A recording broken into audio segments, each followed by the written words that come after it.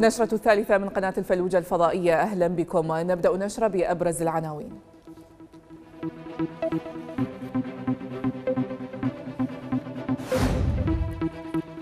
رئيس الجمهورية يدعو لحماية القرار الوطني ويؤكد وجوب دعم حكومة عبد المهدي.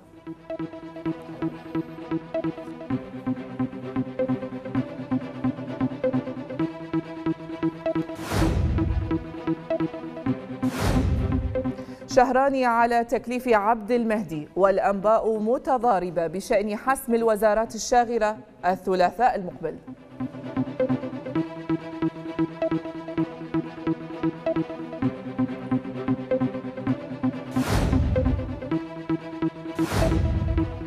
قالوا انت رئيس هيئه نزاهه وإحنا هسه بال 2008 إيش قد خسر العراق نتيجة من جراء الفساد؟ قلت لهم 250 مليار دولار. الفلوجة تفتح ملف الفساد في العراق. شهادات تكشف عن إهدار 250 مليار دولار.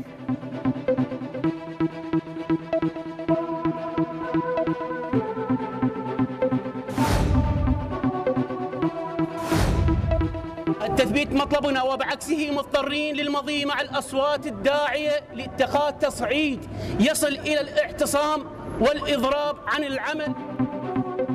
تظاهرات في البصرة والمثنى والديوانية تدعو لتثبيت العقود وتحسين الخدمات.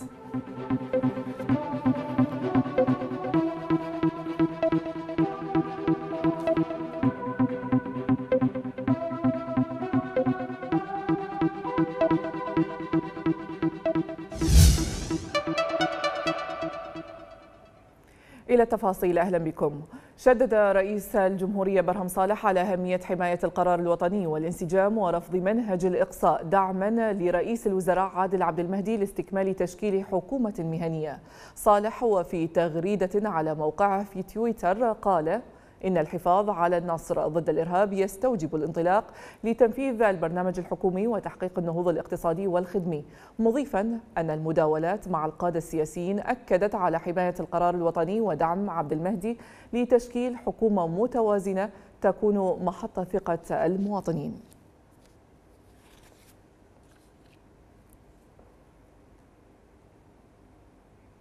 من المفترض أن تشهد جلسة البرلمان المقبلة والمقرر عقدها يوم الثلاثاء المقبل استكمال ما تبقى من الكابينة الوزارية لحكومة عادل عبد المهدي إلا أن مصادر نيابية تؤكد بقاء الخلاف على ثلاث وزارات وهي الداخلية والدفاع والعدل بعد دخول الكرد على خط الأزمة.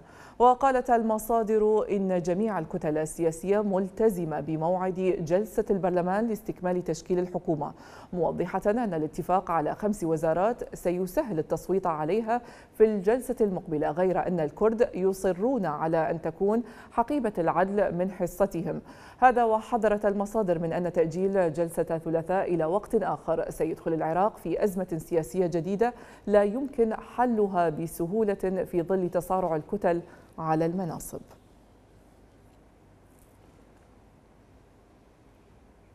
في المقابل أكدت كتلة الفتح التي يتزعمها هادي العامري والمنضوية تحت تحالف البناء. تقديم الكابينة الحكومية بشكل كامل في جلسة البرلمان الثلاثاء المقبل بما فيها الدفاع والداخلية على الرغم من وجوب أو وجود خلاف مع سائرون. النائب عن الفتح نعيم العبودي قال في تصريح صحفي إن الكابينة المرتقبة ستضم اسم فالح الفياض لوزارة الداخلية موضحا أن الكثير من القضايا الأساسية تراجع عنها تحالف البناء حفاظا على التوافق فيما بين أنه في حال جرى الاختلاف على الفياض فسيكون هناك احتمالان إما الذهاب إلى رئيس الوزراء ويكون قرار القبول أو الرفض منوطا به وإما اللجوء إلى البرلمان. هذا وحذر نواب مما وصفوه بانهيار الحكومة الجديدة في حال عدم حضور رئيس الوزراء عادل عبد المهدي إلى مجلس النواب في جلسة الثلاثاء. داعين الأخير إلى الإسراع بحسم ما تبقى من حقائب وزارية. النائب عن تحالف البناء منصور البعيجي قال في بيان إن عبد المهدي سيفقد الثقة بين مجلس النواب والحكومة إذا لم يحضر جلسة البرلمان المقبلة داعيا إياه إلى تحمل المسؤولية الكاملة وعدم التأثر بأي ضغوط وتقديم المرشحين ووضع الكرة في ملعب مجلس النواب للتصويت عليهم. وينوي وفد من الاتحاد الوطني الكردستاني القيام بزيارة إلى العاصمة بغداد لبحث عدد من الملفات أبرزها إبلاغ الكتل السياسية هناك برغبته في الحصول على حقيبة وزارية. فيما رجحت مصادر أن تكون وزارة العدل هي المقصودة.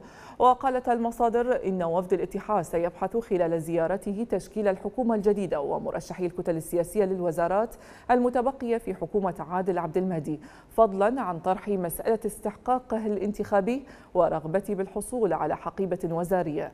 هذا ولم تذكر المصادر موعد الزيارة لكنها نوهت إلى أنها قريبة.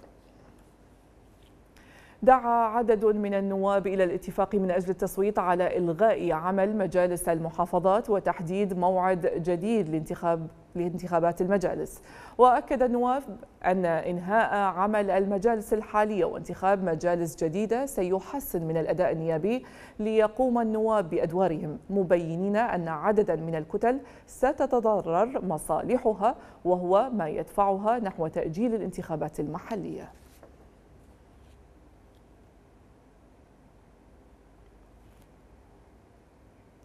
بحث وفد من المفوضية العليا المستقلة للانتخابات مع ممثل المرجعية الدينية في كربلاء الآليات التي اتبعتها المفوضية في الانتخابات والنتائج التي أفرزتها. وقالت المفوضية في موقعها الرسمي إن ممثل المرجعية عبد المهدي الكربلائي بحث أيضا مع مجلس المفوضين في كربلاء الخطط الموضوعة لعمليات توزيع بطاقة الناخب الإلكترونية وتسجيل الناخبين بايومتريا بالإضافة إلى فتح باب التسجيل الإلكتروني البايومتري للمسجلين.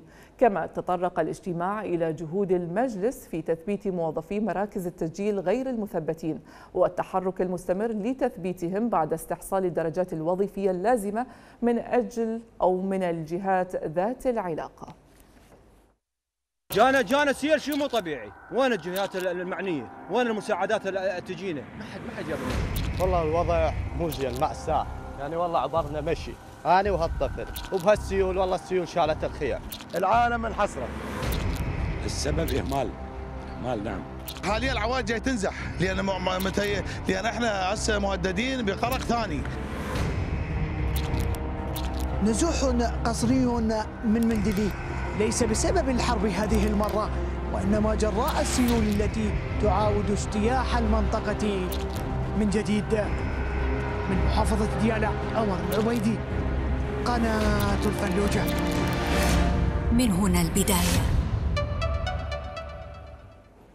وجهت الحكومة المركزية خلية الأزمة والمحافظين والأجهزة ذات العلاقة باتخاذ قرارات ميدانية فورية للتقليل من أضرار السيول كاشفة عن تدمير 340 خيمة في مخيم حمام العليل جنوبي الموصل.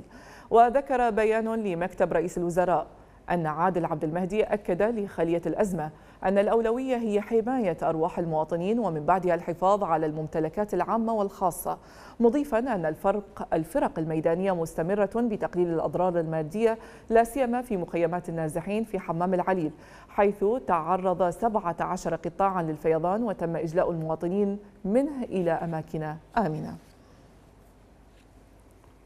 إلى ذلك نفت وزارة الموارد المائية فتح بوابات سد الموصل والإيعاز لسكان القرى والمناطق القريبة منه بإخلاء أماكنهم. موضحة أن الخزين المائي في السدود خلال الموجة الماضية الحالية التي شهدتها البلاد تجاوز المليار ونصف المليار متر مكعب. الوزارة وفي بيان لها قالت إن الشائعات التي أثيرت في مواقع التواصل الاجتماعي لا أساس لها من الصحة مشيرة إلى أن الأمور تجري بصورة طبيعية في سد الموصل ولا تدعو إلى القلق. وأضافت أن نسبة الأملاح في شط العرب قد انخفضت. نافية في الوقت نفسه وجود مخاوف من فيضان نهر دجلة جراء السيول والأمطار التي هاطلت مؤخرا في شمال العراق. وكشفت السيول التي ضربت مدينة الموصل بجانبيها الأيمن والأيسر عن حجم التلكؤ الحاصل في المشاريع الحكومية وسيناريو الإهمال المستمر منذ 15 سنة. فبعد هطل المطر لساعات معدودة أغرقت المياه معظم المناطق السكنية ودمرت الممتلكات. وتمكنت فرق الدفاع المدني من إجلاء وإنقاذ 85 عائلة في محافظة نينوى بعد أن حاصرتهما السيول والفيضانات موضحة أن المديرية استنفرت كافة ملاكاتها للسيطرة على الوضع. وكان محافظ نينوى نوفل العقوب قد طالب يوم أمس الحكومة المركزية بالتدخل لدرء مخاطر السيول مؤكدا أن 300 عائلة من ناحية النمرود جنوب جنوب شرق الموصل فقدت المأوى بسبب الفيضانات. وتعاني شبكات الصرف الصحي في نينوى من تهالك كبير نتيجة قدمها وعدم وجود صيانة دورية عليها.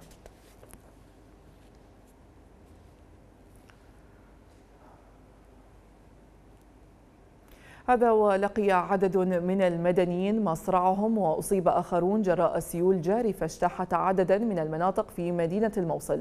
بعد أن ارتفع منسوب المياه بنهر دجلة وبلوغه الجسور التي تربط الجانبين الأيمن بالأيسر. وتساقطت الأمطار بغزارة على المدينة لتدخل إلى المحال التجارية والمنازل السكنية وتسببت بإغلاق معظم الشوارع.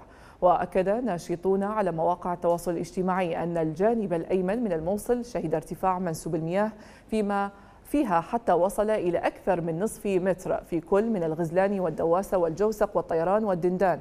مضيفين أن الجانب الأيسر شهد فيضانات كبيرة في حي الشرطة والمالية والتأميم وسوق النبي والقادسية الثانية وسومر ومنطقة يرمجة والمناطق القريبة على نهر الخوصر.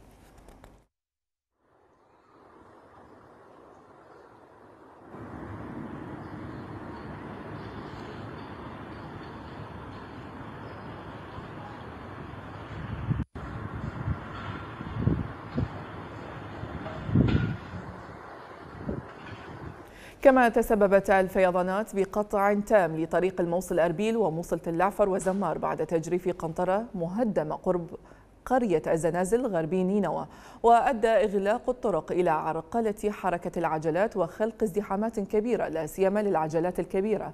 وطالب مواطنون الحكومة المحلية بإيجاد حل سريع وفتح طريق آخر لمرور المركبات.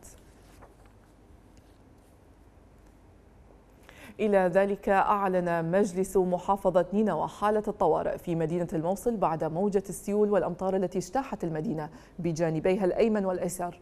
فضلا عن تعطيل الدوام الرسمي في الدوائر الحكومية باستثناء الخدمية. وحذر أعضاء في مجلس المحافظة من انهيار وادي الخوصر بالجانب الأيسر للموصل. وبالتالي تدفق سيول الأمطار وحصول كارثة حقيقية. وكان نواب عن نينوى طالبوا الحكومتين المركزية والمحلية بإعلان حالة الطوارئ في المحافظة على خلفية الفيضانات والسيول. مؤكدين أن الموصل تتعرض لأضرار جسيمة في الممتلكات نتيجة انسداد القناطر على الطرق الخارجية والتي تسببت من غمار المناطق المحاذية للطرق والمناطق المنخفضة. من جهتهم حمل مواطنون من مدينة الموصل الحكومة المحلية والمركزية مسؤولية الفيضانات التي تحصل سنويا في المناطق السكنية بسبب إهمالها للمشاريع الاستراتيجية والاستفادة من مياه الأمطار. دعينا الجهات المسؤولة لتوزيع زوارق بعد عجزها عن معالجة المجاري المتهالكة. وقال عدد منهم لقناة الفلوجة إن القسم الأكبر من شبكات تصريف المياه يمتد عمرها لأكثر من عشرين عاما ولم تخضع لعمليات صيانة أو تأهيل. مطالبين الجهات المعنية بمعالجة هذا الأمر وصرف الأموال المخصصة للموازنة لمحافظة نينوى لإنشاء شبكة تصريف مياه جديدة وصيانة دورية للمجاري.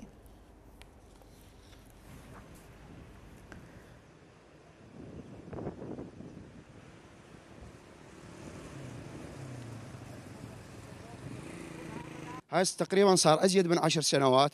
إحنا نعاني نفس الحالة. زين؟ بس خلي يوزعوا لنا بلا هذا هو. ما يحتاج لا يعالجوها. خلي يجيبوا لنا زوارق زين؟ حتى نعبر بزوارق أحسن. عبرتي من ذاك الجانب لهذا الجانب. الدواسة غرقانة بالكامل. تقريبا أكثر من 40 سيارة طافية بالماء وماكو أحد يقدر يسحبهم لأن الماء عابرة الجامات وما يقدرون يفتحون الأبواب مالتهم. كل سنة كل شتاء ما يدخل يدخلون انذار خطيه لا ليل ليل ولا نهار نهار. وهاي الوضعية؟ هاي ما سنة وسنتين يعني. هاي من قبل تقريبا 15 20 سنة الوضعية هاي. يعني منطقتي مقابل الطيران نبي شيت. والله غرقت المنطقة. خوب الطيران فات عليها على المويه فات على البيوت. والله نص متر فوق النص متر. يعني كل ده السبب إنه انسداد بالمجاري وقلة الصيانة. يعني إحنا نتمنى أنه تكون صيانة دائما للمجاري وأنت تعرف إحنا مقبلين على فصل الشتاء وأمطار غزيرة يعني وإحنا نتمنى أنه يعني كوادر البلدية أنه تسوي صيانة للمجاري. أكد مدير صيانة الأيمن في مديرية ماء نينوى أحمد فتحي استنفار جهود كافة الدوائر الخدمية موضحا في تصريح لقناة الفلوجة تشكيل غرفة عمليات لمواجهة الفيضانات والسيول شرعت كوادر صيانة ماء نينوى آه، بالانتشار في الجانب الأيمن آه، من مدينة الموصل بعد آه، ورود مناشدات من الأهالي بغرق العديد من الأحياء في مدينة الموصل وخصوصا الأيمن الموصل. آه الحمد لله آه تم الانتشار في منطقة العقيادات والقلاوات ووادي حجر والدواسة وكذلك آه باقي المناطق الأخرى المحيطة بها حيث تم إنقاذ العديد من العوائل من الغرق آه بسواعد الأبطال آه مهندسين وفنيين وعمال. الحمد لله حاليا آه تم فتح العديد من آه، أغطية المنهولات. كما اجتاحت سيول غاضبة الصحراء الغربية لمحافظة الأنبار جارفة كل ما يأتي أمامها من, من قرى وأعمدة كهرباء. وأظهر مقطع فيديو جريان السيول في وادي حوران في قضاء الرطبة غربي الأنبار بعد موجة الأمطار الشديدة التي شهدتها المحافظة. وأغلب المحافظات العراقية فيما أطلق السكان نداءات استغاثة إلى الحكومتين المحلية والمركزية لإنقاذهم قبل أن يدركهم الفيضان.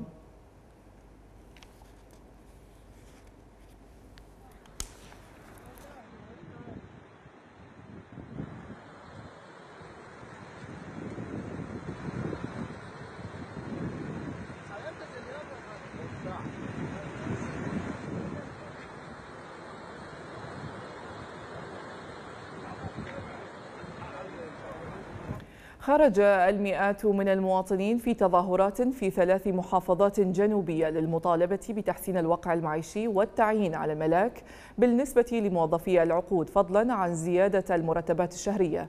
ونظم محتجون من معلمي ومدرسي العقود في البصرة تظاهرة أمام مبنى الحكومة المحلية الجديد احتجاجا على عدم تعيينهم على الملاك. وقاموا بإغلاق البوابة الرئيسة للمبنى والطريق المؤدي إليها. يأتي ذلك في وقت يواصل فيه العاملون بنظام العقود والأجور اليومية في محطة كهرباء الديوانية الغازية ومحطات شمالي وشرقي المحافظة اعتصامهم لليوم الثاني والعشرين على التوالي أمام محطاتهم للمطالبة بالتثبيت على الملاك الدائم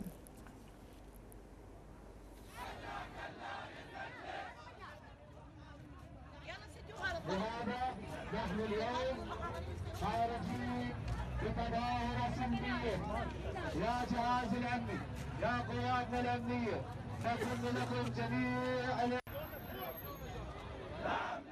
تعيين كافة الأجراء اليوميين والعقود على الملاك الدائم في وزارة الكهرباء وإن عدد الأجراء اليوميين وصل إلى أكثر من 4000 عامل أجر يومي وقد مر على خدمتهم أكثر من 12 سنة دون تثبيت. التثبيت مطلبنا وبعكسه مضطرين للمضي مع الأصوات الداعية لاتخاذ تصعيد يصل إلى الاعتصام والإضراب عن العمل في حالة عدم تلبية مطالبنا المشروعة.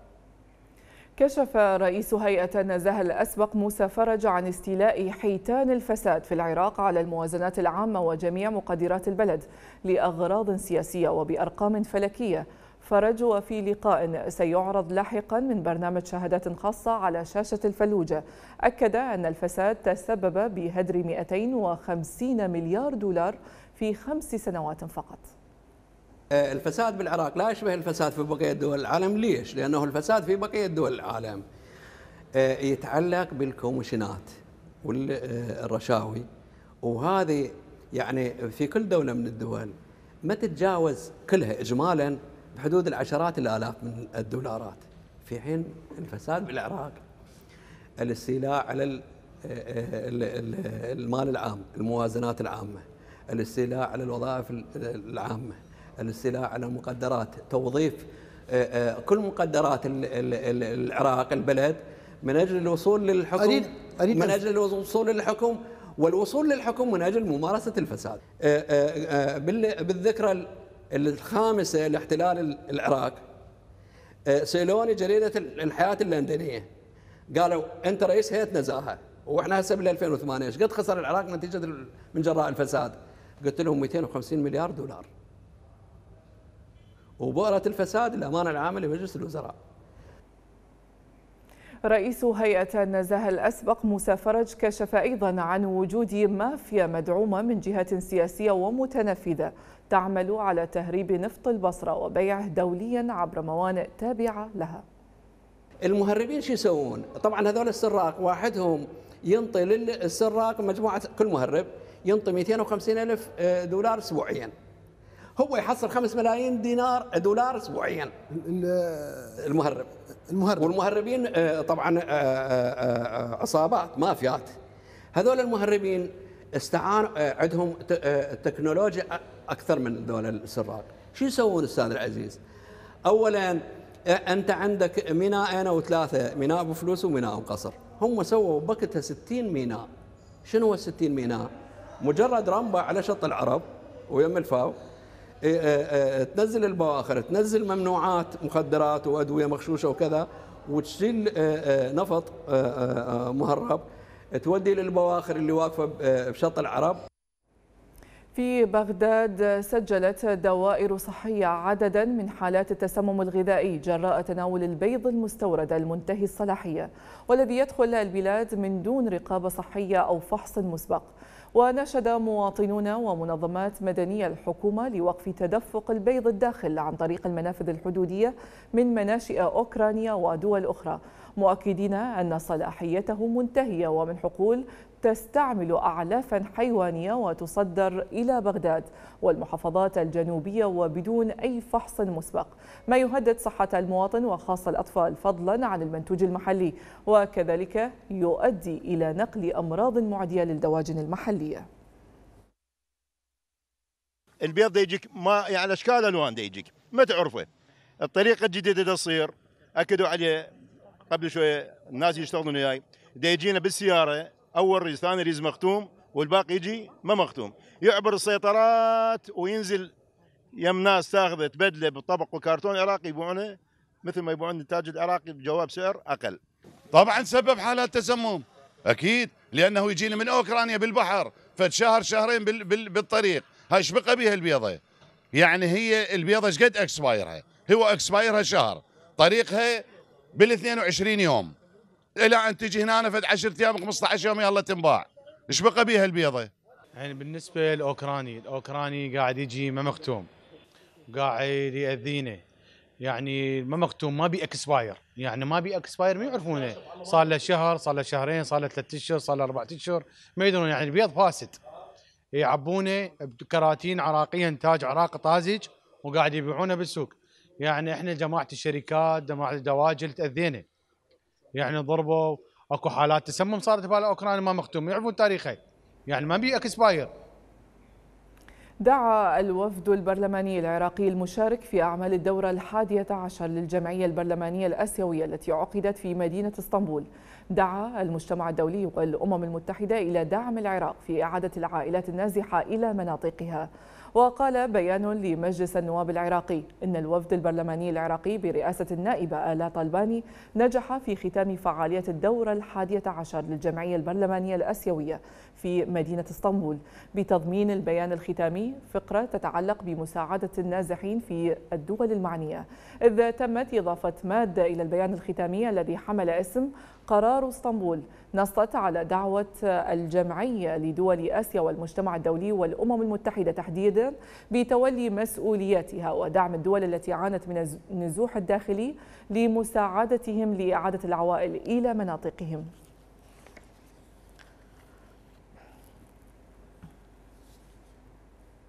يعيشون في خيمة ويتعالجون في خيمة وأطفالهم يدرسون في خيمة في أطراف مدينة الرمادي أطفال نازحون لا يعرفون عن الوطن سوى أنه مخيم كبير. نتابع التفاصيل. هذه خيمة لا هذه مدرسة. هنا يدرس المئات من التلاميذ النازحين في ظروف إنسانية مأساوية لكنها لا تخلو من التحدي والإصرار على الاستمرار في التعلم. ظروف مناخية سيئة في مخيم يفتقر لأبسط مقومات الحياة. عائلات أجبرتها الحرب على السكن هنا. أطفال مهددون بالضياع يحاولون الانتظام داخل هذه المدرسة الخيمة ليتعلموا عن الحرب والحياة. احتضان هؤلاء الطفولة الموجودة في المخيم وإعادتها إلى إلى مسارها الصحيح حيث أغلب العوائل أتت من مناطق ساخنة كان مسيطرة من قبل داعش. أردنا جاهدين على إعادة الطفولة أردنا أن نمحو فكر داعش من, من, من أفكارهم أردنا أن نعيدهم إلى مسارهم الصحيح. بضع خيام نصبت هنا في مخيم 18 كيلو غربي الرمادي. لتشكل مدرسة ابتدائية تستقبل تلاميذ حرمت عائلاتهم من العودة إلى مناطقها المحررة لأسباب أمنية وخلافات عشائرية ودعاوى وصفت بالكيدية. نريد كرفانات حتى الطالب يجتهد بالدراسة ويؤدي واجبه بصورة صحيحة أحسن من تشتت على الشوارع. خيام متهالكة على أطراف مدينة الرمادي. يعاني ساكنوها برد الشتاء القارس وأمطاره الغزيرة والحكومة دائما عاجزة عن إيجاد الحلول. من الأنبار باسم الأنباري قناة الفلوجة.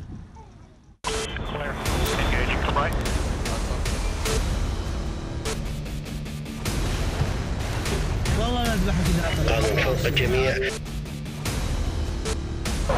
تقوم بعمليات السلي بقضية الطفل. جري سيارة ملغمة وسط المدينة. لن نتردد في التغيير. كان سبب السفارة الإسبانية في بغداد. العراق في وضع ضعيف لكنه غير مستسلم من هنا البداية. قال المتحدث باسم التحالف الدولي ضد داعش شون ريان إن القوات العراقية تواصل عملياتها ضد التنظيم على طول الحدود العراقية السورية. وذكر ريان أن الوحدات العراقية تواصل القيام بضربات منسقة على هجمات متكررة ومنفردة لتنظيم داعش تجاه حدود العراق.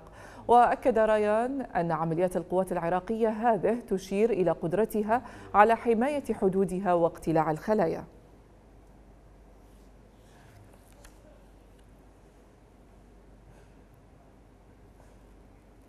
أكدت وزارة الداخلية أن محافظة ديالى تواجه تحديات لا تقل عن التحديات التي تواجهها محافظتا نينوى وكركوك داعية الحكومة المحلية في ديالى على إيلاء ملف الأمن صدارة اهتماماتها لتأهيل وبناء قوات الشرطة المحلية. تحديات محافظة ديالى لا تقل خطورة عن تحديات ترى محافظة نينوى ومحافظة كركوك. فيها نفس التنويعات في نفس التحديات فيها نفس التحديات. ولكن الحمد لله هناك وعي من قبل الأخوة في الحكومة المحلية في إسناد جهازهم الأمني اليوم المتمثل بقيادة الشرطة والاستخبارات والتشكيلات الداعمة الأخوة. ما نأمله في الفترة القادمة إن شاء الله أن يكون ملف الأمن يحتل الصدارة في اهتمام الحكومة المحلية. ليس من جانب فقط الحكومة الاتحادية إذ لدينا اليوم قصور في الموازنات أو جانب تقصير في كثير من الاهتمامات التي يجب أن توليها المؤسسات الاتحادية للملف الأمني في المحافظات. لذلك أملي الكبير في أن يحظى ملف آه، تأهيل وبناء قدرات الشرطة المحلية في ديالة آه، يحظى بالأهمية والأسبقية آه، ذو الصدارة القصوى في جدول أعمال الحكومة المحلية. فيما أكدت الداخلية أن إدارة المنافذ الحدودية لا تقع ضمن صلاحياتها وهي ضمن مسؤولية أمانة الوزراء. داعية مجلس النواب إلى عدم تقليص حصة الوزارة في الموازنة لتعزيز الجانب التقني في العمل الأمني. كانت المنافذ الحدودية على عاتق وزارة الداخلية في الفترات الماضية ولكن بمجرد أن صدر قانون هيئة المنافذ الحدودية انفصلت واليوم هي تابعة للأمانة العامة لمجلس الوزراء. هذا من ناحية الإطار القانوني وتابعية التشكيل الآن. نحن اليوم كوزارة داخلية معنيين فقط بقيادة قوات الحدود وليس بالمنافذ الحدودية. نطلق بصراحة نداء إلى الأخوة في مجلس النواب أن لا ينال هذه الموازنة أي ضرر أو تنقيص لأن هناك الآن بعد نزول أسعار النفط هناك رؤية جديدة في أن يتم تقليل الموارد الإضافية سواء في خطتها الاستثمارية أو التشغيلية لكثير من وزارات الدولة. نحن لا نريد أن نعاني. بصراحة التقنية إذا لم تحضر مع رجل الأمن لن نستطيع أن نقول أن لدينا منظومة حديثة أمنية متكاملة. أكد مجلس محافظة الأنبار أن الأيام المقبلة ستشهد إلقاء القبض على عدد من الفاسدين في الدوائر الحكومية داعيا المواطنين للتعاون وإخبار الحكومة المحلية بجميع شبهات الفساد بالدليل لتقديم المتهمين المتهمين إلى القضاء. هنالك عدد من الدوائر يراد متابعتها وأمضينا العزم بالتعاون مع مكتب تحقيقات الأنبار في هيئة النزاهة. آه، وكذلك ديوان الرقابة المالية والأجهزة الأمنية وكذلك السيد رئيس مجلس محافظة الأنبار والسيد محافظ الأنبار أنه نمضي قدما في القضاء آه، بشكل نهائي آه، على الفاسدين في دوائر الدولة. وأيضا سوف يتم الأيام القادمة محاسبة أو إلقاء القبض على عدد من الفاسدين في بعض الدوائر. لا أريد أن أسبق الأحداث وأنوه بها ولكن هنالك عندنا ملفات شائكة في هذه الدوائر ويراد جهد عالي. وكذلك يراد تعاون المواطنين بإخبارنا عن كل الشبهات بالدليل القاطع عن الفاسدين لكي يتم إحالتهم للقضاء آه، ليأخذوا جزاءهم العادل في هذه المرحلة إن شاء الله. في السياق كشف مجلس محافظة كربلاء عن تشكيل لجنة تحقيق لمعرفة مصير أموال الزيارة المليونية وآلية إنفاقها مؤكدا أنه ليس له علم بما تم إنفاقه من أموال. لجنة تحقيقية بخصوص لجنة تحقق طبعا آه، بخصوص ما ورد إلى كربلاء من أموال خلال الزيارات المليونية كيفية إنفاقها آلية إنفاقها آلية وضع الأولويات وكذلك آه، مصادقات المجلس. لاحظنا أن هذه الأمور لم ترد إلى مجلس محافظة. مجلس محافظة ليس عليهم علم بما تم إنفاقه أو كيف إنفاقه وهذه التساؤلات موجودة. تم تشكيل لجنة تحقق في المجلس محافظة إن شاء الله تعطي تقريرها خلال أسبوعين للمجلس وليرى المجلس رأيه بذلك. أعلنت تركيا عزمها افتتاح مكتب متخصص في محافظة كركوك لغرض تسهيل منح العراقيين تأشيرة الدخول إلى تركيا. وقال سفير أنقرة لدى بغداد فاتح يلدز خلال زيارته إلى ناحية توسخرماتو إن بلاده ستبحث مع الحكومة المركزية في بغداد إمكانية افتتاح تركيا ممثلية رسمية لها في محافظة كركوك. وأشار السفير التركي إلى أن المركز الذي سيفتتحونه في كركوك سيكون مماثلا لمكاتب تقديم طلبات الحصول على تأشيرة الدخول إلى تركيا في كل من العاصمة بغداد وأربيل والسليمانية.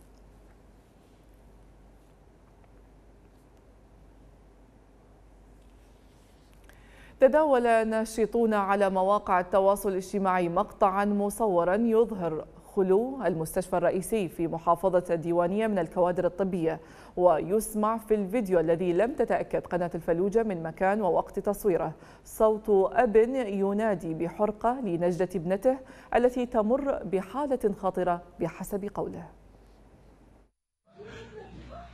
هاي مستشفى البدير فارغة! ماكو لا دكتور لا خفر ولا واحد بس باسعاف هسه واليوم حرام حرك حرك ولا لا لا لا زواد البولاني ولا علي مانع. وطفله عمرها 16 سنة راح تموت.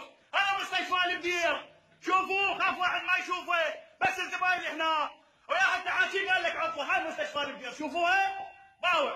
هاي مستشفى البدير. كل شيء ماكو. لا عضو مجلس محلي لا رئيس مجلس محلي لا عضو محافظة لا عضو برلمان ولا واحد. هاي مستشفى البدير شوفوها. طفلة عمرها 16 سنة راح تموت. ما حد يعقلها يلا باعوا. باعوا. وين الشريف وين وين الخوش إنسان وين الآدمي. يلا شوفوا مستشفى البدير اتفرجوا عليها تفرجوا باعوا. باعوا هاي مستشفى البدير اللي اللي ما اعرف إيش قد خسروا عليها. باعوا لها. هاي مستشفى البدير شوفوا. يلا تفضل. تفضل بدنا نشوف يا والله البيها موجود. أكو غرفة مفتوحة أكو طبيب خفر يلا بعض هاي المستشفى اللي بدي شوفوها كل شيء ماكو. علي بعد أن بترت ساقاه ينتظر على سرير اليأس بتر ذراعيه. لماذا؟ الجواب في التقرير التالي. بعد أن فقد ساقيه بسبب انسداد في الشرايين. علي قد يفقد ذراعيه بسبب الفشل الكلوي الذي يأكل جسده منذ سنتين. حالته المادية المتردية وقلة حيلته وسوء الخدمات الصحية في مدينة سامراء أسباب تقف حائلة دون علاجه. أنا والله عن غسل أغسل كلى فشل كلوي صار آه، سنتين.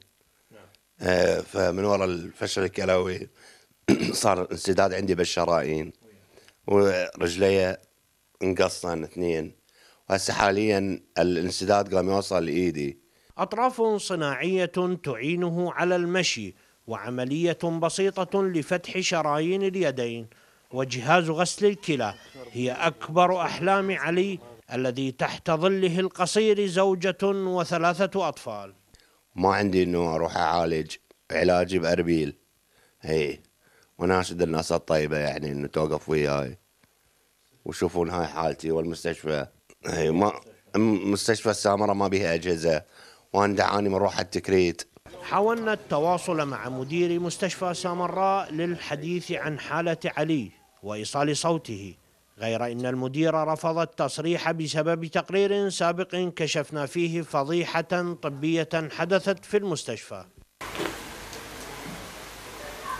إحدى المنظمات الإنسانية التي تتابع حالة علي تقول إن الجهاز موجود في المستشفى منذ أكثر من سنة ولا يوجد كادر متخصص يتقن العمل عليه. مستشفى سامراء آه، هناك موجود جهاز غسل بس كادر يشتغل على هذا الجهاز ماكو. مستشفى سامراء أحد المتبرعين يتبرع بجهاز. المستشفى سامراء قرابة السنة راح يصير. وقبل فترة تبرع آه، آخر متبرع بجهاز غسل فشل كلوي. المستشفى سامراء بس سامراء ما آه، مستشفى سامراء ما عندها كادر يشتغل على هذا الجهاز. علي واحد من مئات آلاف المعاقين في العراق جراء الحروب المتعاقبة. ليست لديه أحلام كبيرة.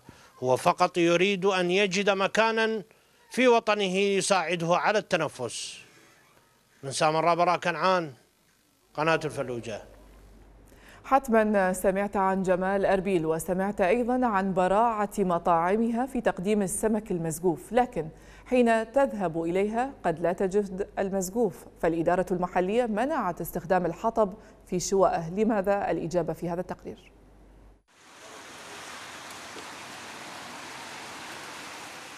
لا مزقوف في أربيل إلا على الفحم فالحطب الذي يعد تقليدا تراثيا في شواء السمك وإضفاء جو خاص على طريقة إعداد الطبق الذي يشتهر به العراقيون.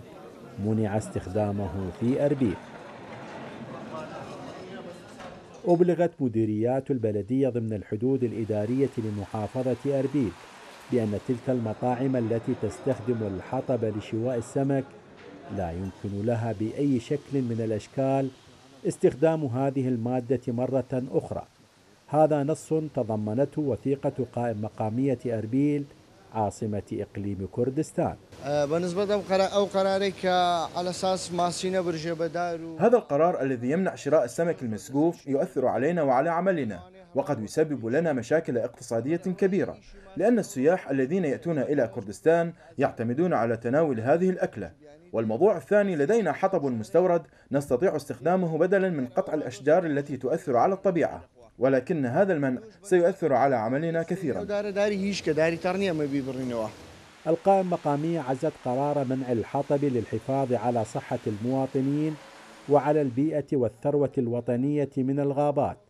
كما دعت القائم مقامية مديريات البلدية إلى عدم تجديد إجازة ممارسة المهنة للمطاعم غير الملتزمة بالتعليمات. الأشجار كثروة وطنية معرضة لتهديد القطع من قبل أشخاص وذلك بسبب كثرة آه، المطاعم الذي الذي تعمل على أو تبيع السمك المسقوف حيث إن كل مطعم يصرف حوالي طنين من الأشجار في كل يوم وهذا ضرر كبير آه، بالنسبة إلى الغابات. قيمة المسقوف في التراث العراقي أن السمك فيه يشوى على الحطب. هذا التقليد قد لا نراه في مدينة أربيل في قابل الأيام بعد قرار منع الحطب في شواء المسقوف من أربيل بشير الحسن قناة الفلوجة نشرتنا مستمرة وفيها نتابع أيضا.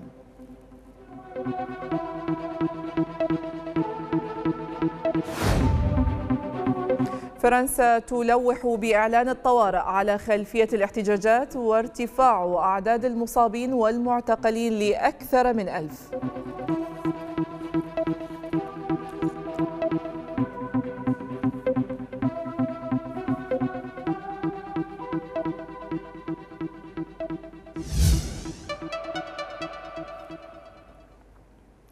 تسببت الهجمات التي يشنها النظام السوري وداعموه من التنظيمات الإرهابية الأجنبية على المناطق المأهولة بالمدنيين في محافظة إدلب شمال غربي سوريا بنزوح أكثر من خمسة آلاف عائلة على الأقل إلى مناطق أكثر أمنا في المنطقة.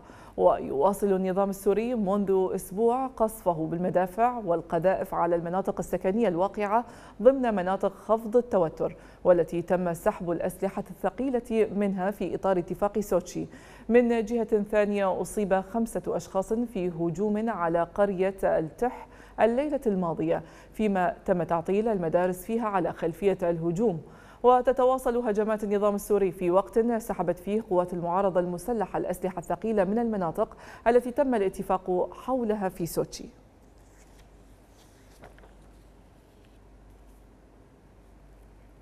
أعلنت منظمة حقوقية مقتل 241 مدنيا بينهم 28 طفلا و23 سيدة على يد روسيا وقوات النظام السوري في الهجمات التي نفذتها القوات على المعابر المائية على نهر الفرات شرقي البلاد. وبحسب تقرير للشبكة السورية لحقوق الإنسان فإن ما لا يقل عن 20 معبرا مائيا تعرض للهجوم من قبل ثلاث جهات رئيسة في النزاع السوري مشيرة إلى أن هذه المعابر تقع في محافظة دير الزور دون ذكر مدى زمني ووفق التقرير. فإن المعابر المائية هي عبارة عن محطات يتجمع فيها المدنيون ليتم نقلهم بواسطة القوارب والسفن الصغيرة أو العبارات المائية إلى الضفة المقابلة من نهر الفرات. you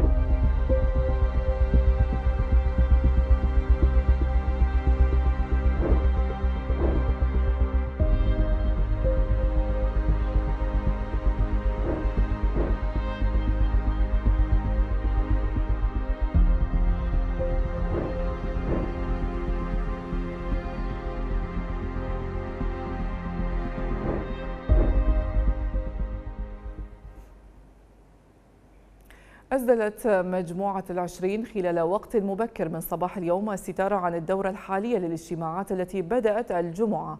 واستضافتها العاصمة الأرجنتينية بوينس آيرس. وأكدت مجموعة العشرين على تطبيق اتفاق باريس بشأن المناخ بحذافره باستثناء الولايات المتحدة التي تقول إنه يؤثر على نمو اقتصادها سلبا. وأعربت عن خيبة أملها في التجارة المتعددة والمتحررة لأنها لم تحقق أهدافها بتحفيز النمو الاقتصادي العالمي وخلق مزيد من فرص العمل. فيما دعت إلى إعادة تأهيل وتدريب العمال والموظفين لدمجهم في التطور التكنولوجي من أجل استمرار نمو الوظائف في الاقتصاد العالمي وتجنب مزاحمة التكنولوجيا. وعلى هامش قمة العشرين أبلغ الرئيس التركي رجب طيب أردوغان نظيره الروسي فلاديمير بوتين على ضرورة عقد قمة أخرى لبحث الوضع في محافظة إدلب السورية حيث يريد البلدان إنشاء منطقة منزوعة السلاح يمكن الالتزام بها. وقدم أردوغان الاقتراح أثناء اجتماعه مع بوتين في قمة العشرين بعد مضي أكثر من تسعين يوما على اتفاق سوتشي الذي نص على إقامة منطقة منزوعة السلاح حول محافظة إدلب التي يسيطر عليها مسلحو المعارضة في شمال غربي سوريا. لكن خروقات قوات النظام للاتفاق مستمرة حتى الآن وأسفرت عن مقتل العشرات ونزوح الآلاف.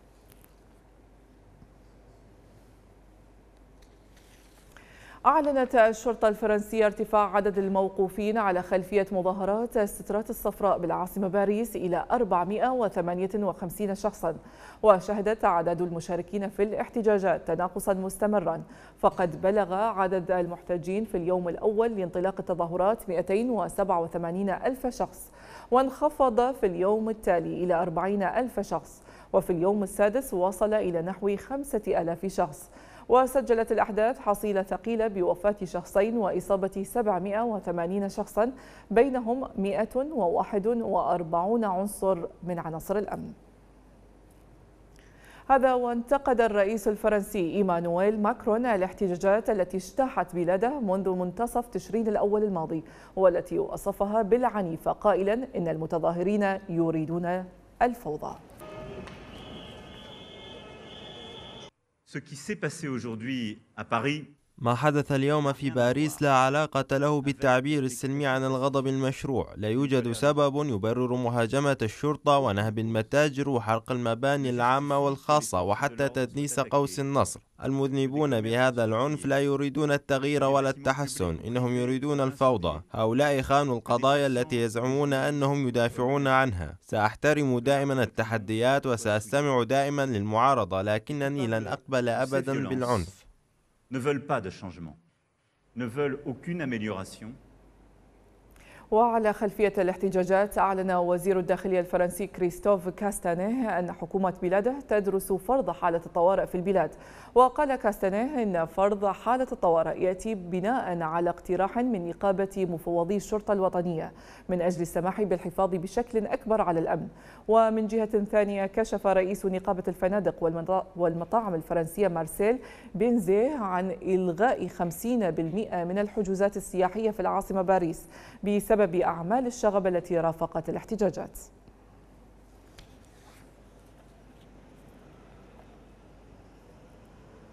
عثرت السلطات البحرينية على القائد الأعلى للأشراف على القوات البحرية الأمريكية في الشرق الأوسط سكوت ستيرني ميتا بمقر إقامته في العاصمة المنامة. وقالت السلطات الأمريكية إن التحقيق جار بوفاة الإدميرال في الأسطول الخامس ولا يوجد دليل على وجود مخالفة في هذا الوقت. من جانبه ذكر رئيس العمليات البحرية آدم جون ريتشاردسون أن العمليات والمسؤوليات الخاصة بالبحرية في المنطقة سوف تستمر بلا انقطاع. كما أعلن ريتشاردسون أن نائب رئيس العملية البحرية للعمليات والخطط الاستراتيجية جيم مالوي سيتسلم القيادة المؤقتة حتى يتم اختيار خليفة دائم. في إشارة واضحة إلى مدى أهمية تلك المنطقة البحرية.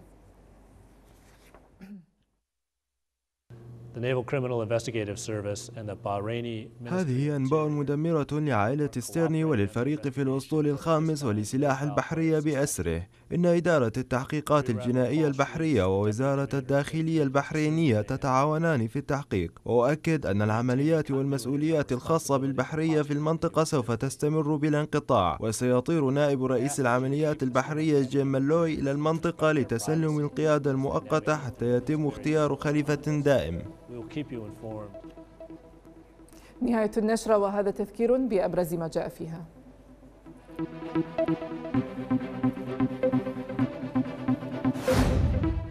رئيس الجمهورية يدعو لحماية القرار الوطني ويؤكد وجوب دعم حكومة عبد المهدي.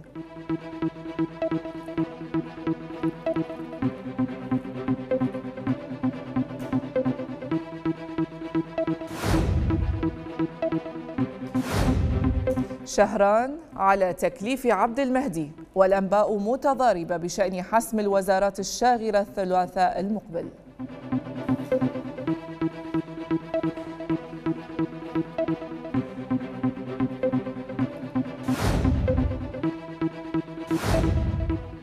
قالوا أنت رئيس هيئة نزاهة وإحنا هسه بال 2008 إيش قد خسر العراق نتيجة من جراء الفساد؟ قلت لهم 250 مليار دولار. الفلوجة تفتح ملف الفساد في العراق. شهادات تكشف عن إهدار 250 مليار دولار.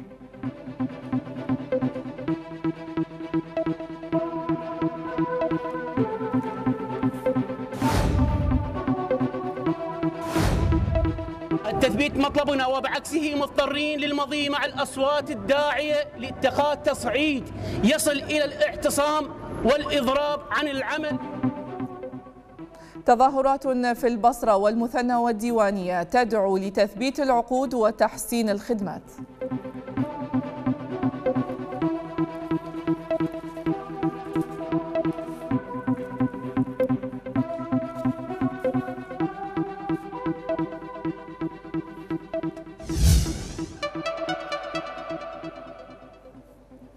للمزيد من الأخبار. يمكنكم زيارة موقع القناة الفلوجة دوت تي في أو من خلال مواقع التواصل الاجتماعي الفيسبوك تويتر ويوتيوب. ملتقنا على خير إلى اللقاء.